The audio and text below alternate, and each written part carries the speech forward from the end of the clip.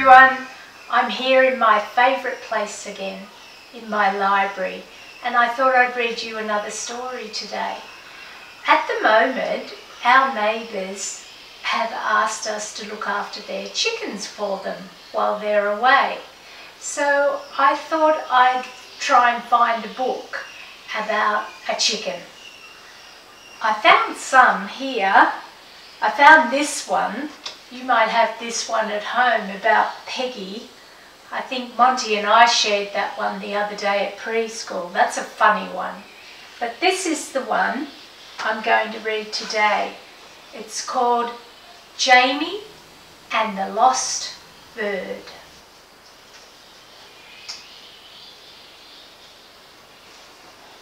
By Claire Jarrett. One stormy evening, a strange bird walked in through the gate and up the path. What's that tapping sound? asked Jamie. Grandfather opened the door. Look, a bird's come in. My goodness me, he said to the bird, you must be freezing with no feathers or coat. Come in. Jamie fetched some towels.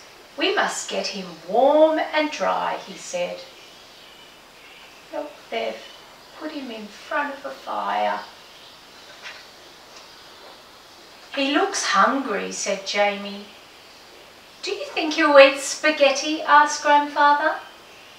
Worms would be better, said Jamie. He put his coat on and went out to find some. There he is, with his raincoat on and his gumboots, trying to find some worms for the bird. The bird was very hungry. He needs a name, said Grandfather. Jamie looked around at his toys. You see his toys here? How about Thomas, he said. My father's name was Thomas, said Grandfather. What do you think, Thomas? The bird looked up. Chirp, he said. Where will Thomas sleep? Jamie asked. Grandfather rummaged about in the cupboard. Here we are, he said at last. Not too big and not too small. Look, can you see? They've found a box. And he can have my old jumper, said Jamie, tucking it into the box.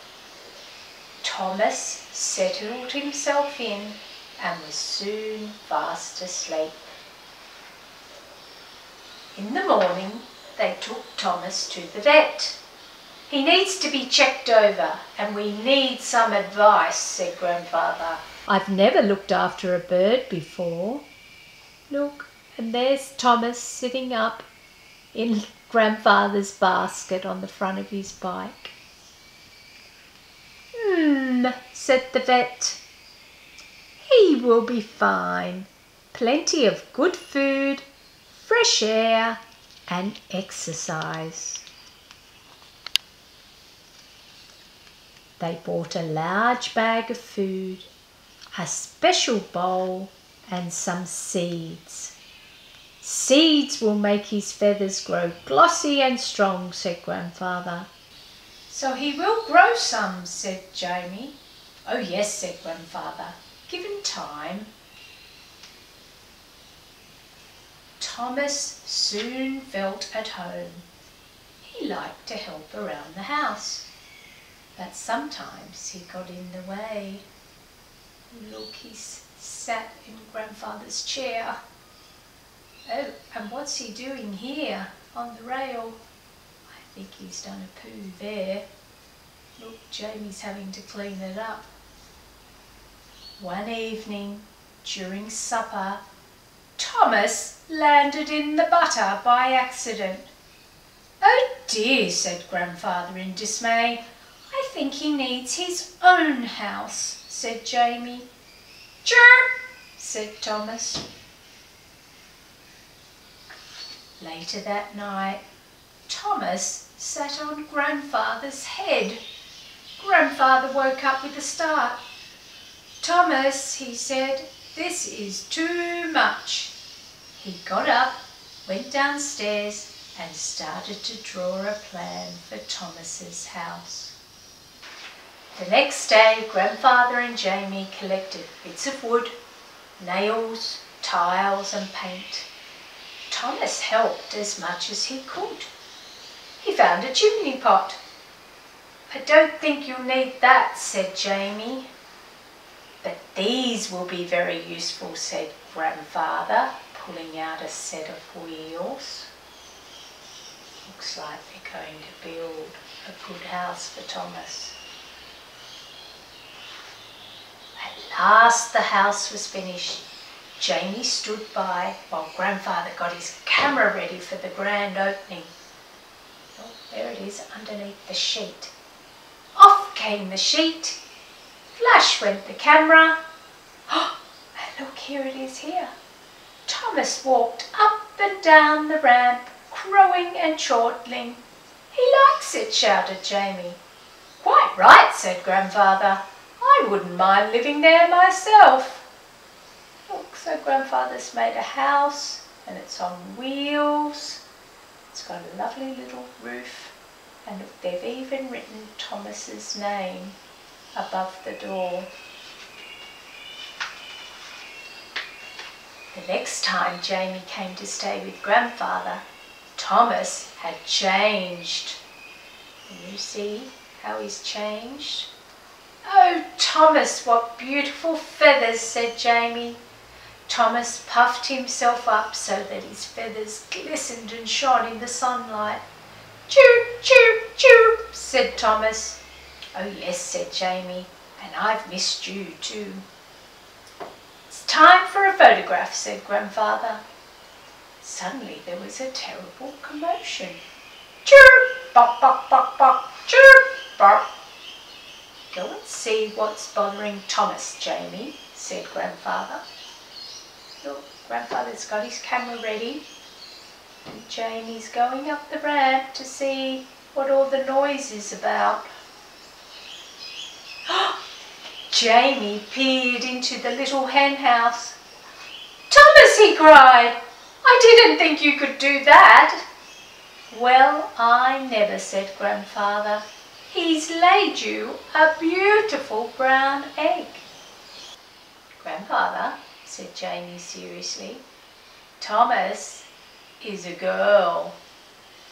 We'll just have to call him Thomasina then, said Grandfather. Bop, bop, bop, said Thomas. And that's the end of the story. I thought today we could go and have a look at the chickens that I'm minding at the moment. It'd be exciting if we could find some eggs just like Thomasina laid for Jamie. Let's go and have a little look.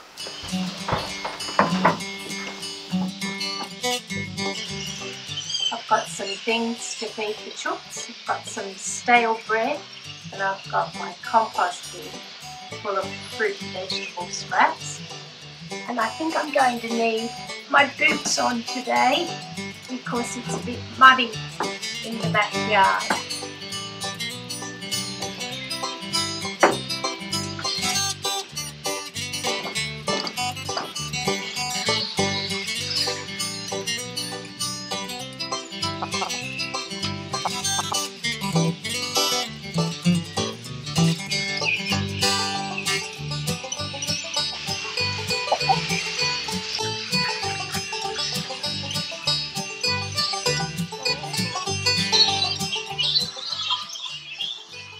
I'm not sure the chickens will like everything in my compost bin.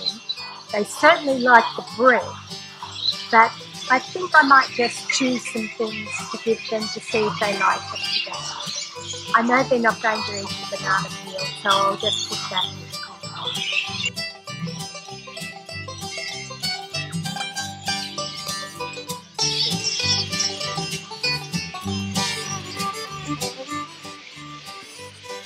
Wonder if we're going to find any eggs today. This is the chicken hen house. This is where they come overnight to sleep. I wonder if there's any eggs in there today. The special house, it has a roof that lifts up. Let's have a look. Oh, one egg.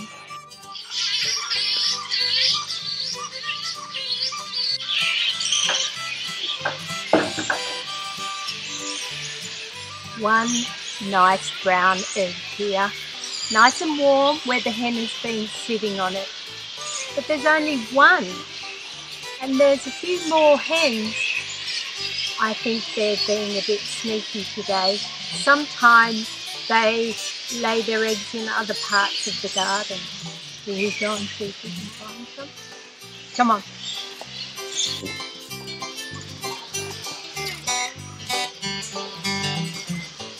Know there's a hole underneath this old tree here where they sometimes lay their eggs. Will we have a look and see if there are any there today?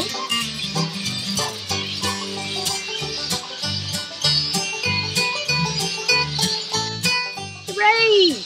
There are two here. One, two. Now we've got three eggs.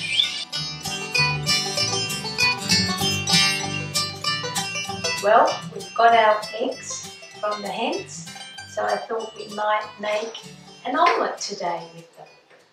So I'm going to take one of my eggs, crack it into the bowl. Remember when we did cooking with Tony and we dropped the eggs? I'll have to be really careful today. One egg, two eggs. I think I'll just use two eggs today beat it up with a fork. And then I'm going to put it in my pan. Beat. Then we're going to put our pan on. I mean, Daddy will have to do this part for you. Give it a little spray so it won't stick. Getting nice and hot and then we're going to pour it in.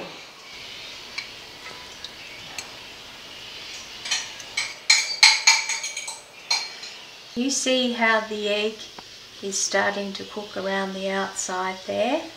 When it's starting to cook like that, I like to put some extra things in. Some spinach in the middle there and maybe some grated cheese. when it starts to cook, I can lift it up and fold it over.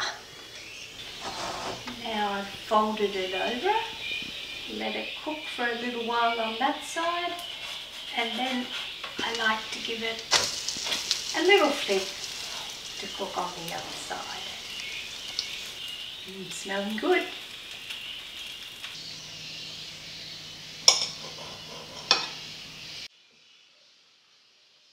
Mmm, delicious. Maybe you could use some eggs to make an omelette at your place, or maybe do some other cooking. Let us know what you've been doing. We'd love to see any letters or any pictures of what you did with your eggs. See you later.